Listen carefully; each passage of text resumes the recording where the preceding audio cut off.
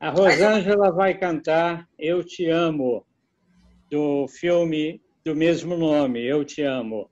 de 1981, um filme de Arnaldo Jabor,